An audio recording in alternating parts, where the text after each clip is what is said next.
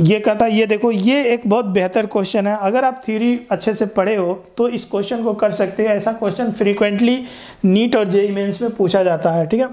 कहता है potential energy of a particle U दिया हुआ। अब पोटेंशियल एनर्जी समझना है क्वेश्चन बहुत ही अच्छा समझने वाला है।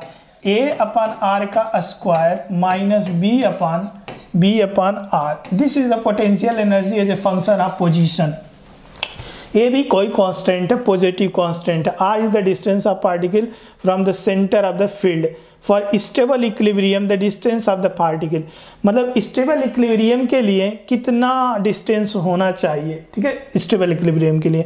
चलो तो स्टेबल इक्विलिब्रियम हम कैसे चेक करते हैं? सबसे पहले हम चेक कर लेते हैं इक्विलिब्रियम कहाँ पर है? ठीक है?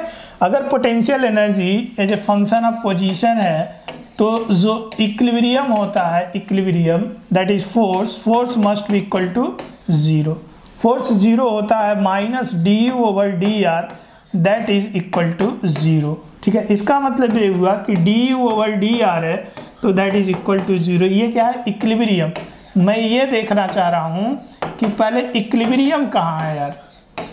पहले इक्विलिब्रियम देख लो। तब तो बाद में पता पता करोगे स्टेबल है अनस्टेबल है न्यूट्रल है। ठीक है? तो पहले मैं इक्विलिब्रियम देख लेता हूँ। तो इक्विलिब्रियम देखने के लिए इसको डी ओवर डी आर एक बार आर के रिस्पेक्ट में डिफ्रेंशिएट करूँगा। तो D over D R D over D R और U A over R square minus B over R that is equal to zero तो किस आर के लिए इक्विलिब्रियम है? ठीक ना? जैसे जैसे पोजीशन बदलेगा, वैसे वैसे पोटेंशियल एनर्जी बदलेगी। तो एक पर्टिकुलर स्पेशल आर पे पोटेंशियल एनर्जी मिनिमम होगी और वहाँ पे स्टेबल इक्विलिब्रियम होगा। तो वो पहले इक्विलिब्रियम चेक कर लेते हैं इसको डिफ्रेंशिएट करो। तो डिफ्रेंशिएट करेंगे तो minus two A upon R की पावर क्यू आता ना सबको differentiation minus minus plus B और R square that equal to zero इसका मतलब ये हुआ, ठीक है, इसका मतलब ये हुआ, अगर मैं इसको सॉल्व करता हूँ तो b अपन आर का square is equal to two A upon R की पावर क्यू मतलब R is equal to two A upon B वो ए स्पेशल आर है, जिस पे इक्विलिब्रियम एग्जिस्ट करती है. This is the r this is R this is R position at which force is equal to zero equilibrium मतलब equilibrium हो रहा है, ठीक है? अब हमें ये नहीं पता है कि वह इक्विलिब्रियम स्टेबल है कि अनस्टेबल है. वैसे तो ये एक ही दिया हुआ है।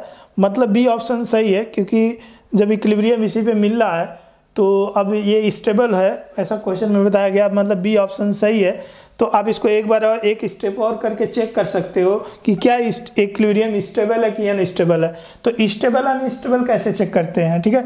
स्टेबल और अनस्टेबल चेक करने के लिए इसी को डबल डिफ्रेंशिएट करते हैं और देखते हैं for stable equilibrium for stable equilibrium आपको पता होगा कि double differentiation, D square U upon D R square must be greater than zero. Unstable के लिए, ठीक है? लेस देन ज़ीरो, न्यूट्रल के लिए इक्वल टू ज़ीरो। तीन टाइप का था। तो स्टेबल इक्विलिब्रियम क्या इसका डबल डिफरेंशिएशन पॉजिटिव है?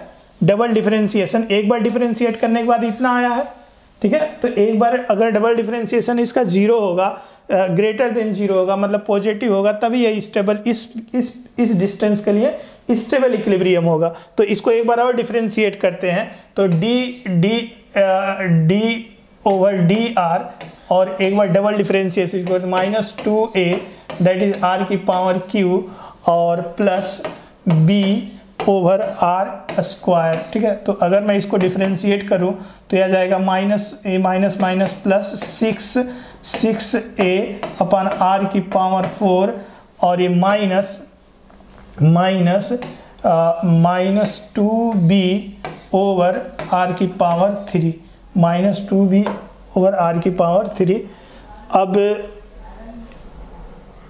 ठीक है?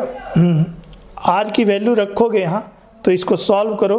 तो आर की वैल्यू रखोगे तो आर की वैल्यू देख रहे हो आर की value two double differentiation plus six A और आर की वैल्यू रखोगे, यहाँ r की वैल्यू रखोगे तो फोर ये sixteen A square sixteen A square that is the B square ठीक है? माइनस सिक्सटीन सिक्सटीन एक ए की पावर फोर बी की पावर फोर और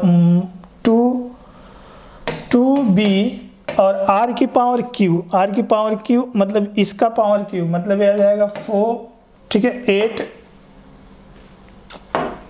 एट ए की पावर क्यू एंड बी की पावर क्यू ठीक है? तो समझना। तो ए की पावर भी बी बी की पावर क्यू इसका मतलब ये हुआ कि इसको सॉल्व करो तो ये आ जाएगा ए की पावर क्यू ठीक है? और बी की पावर फोर बी की पावर फोर ए की पावर क्यू और सिक्सटीन और ए एट हाँ और एट टू से मल्टीप्लाई कर दोगे तो फोर कुल मिला के पॉजिटिव आ रहा है। ठीक है? कुल मिला के देखो इसको सॉल्व कर लो।